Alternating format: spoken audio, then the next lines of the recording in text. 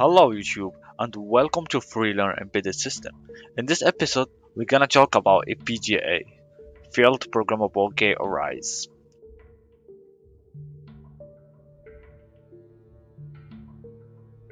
As we know, there are three kind of semiconductor chips. We have processors category that includes CPU, MCU, and DSP. We have already made a video about that and also we've explained the difference between CPU and MCU. I'm gonna put the link of the video in the description below. The second category is programmable logic circuit, which include FPGAs and PLD, complex programmable logic device. And finally, ASIC circuit, application specific integrated circuit, is a microchip designed for a special application. Today, we're gonna talk about FPGA field programmable gate arrays its architecture, and its application.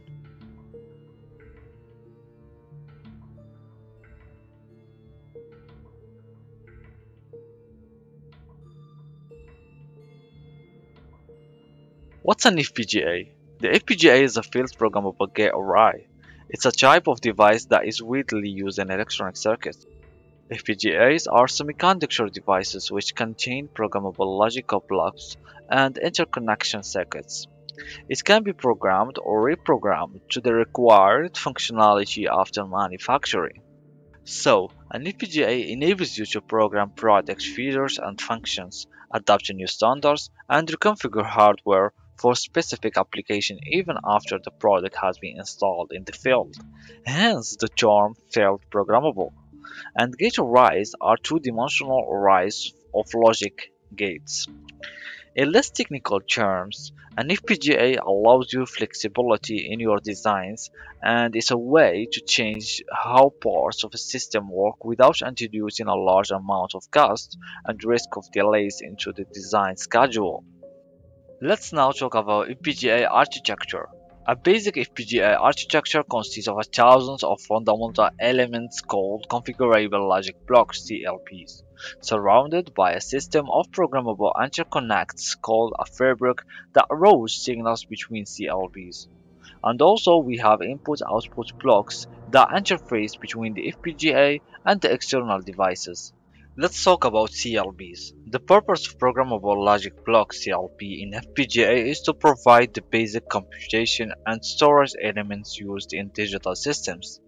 The basic logic elements contain some form of programmable combination of logic, LUT, flip-flop, latch, multipliers, multiplexers, and some fast carry logic. The second part is interconnection network the programmable routing. The programmable routing in FPGA provides connections among logic blocks and input-output blocks to complete a user-defined design. It consists of multiplexers, pass transistors, and three-state buffers, which forms the desired connection. The programmable input-output block are used to interface the logic blocks and the routing architecture to the external components. An input-output pin in the input-output block can be used for an input and output both. The input and the output paths contain edge-triggered D flip-flops that they are selectable by multiplexers. Here, an example of FPGA board that is based on Xilinx Spartan 3E. Let's now talk about FPGA programming. When trying to understand FPGA programming, you need first to understand one of the two main FPGA programming languages, VHDL and Verilog. So there are two hardware description languages HDL that are typically used to program FPGA designs. Verilog is a combination of verification and logic, a language based on C programming language that is primarily used for designing and verification of digital and analog circuits. VHDL, on the other hand, is based on ADA programming language and is dedicated for very high speed integrated circuits basic. Start as a modeling of digital and analog signal circuits. FPGA applications. FPGA have gained rapid growth over the past decade because they are useful for a wide range of applications. We have here some more common FPGA applications which are aerospace, defense, uh, medical, electronics, uh, prototyping, automotive, uh, consumer electronics, uh, distributed monitoring system, data center, high performance computing, industrial, uh, scientific instruments, security system, video image processing, wired communication, wireless communication, etc.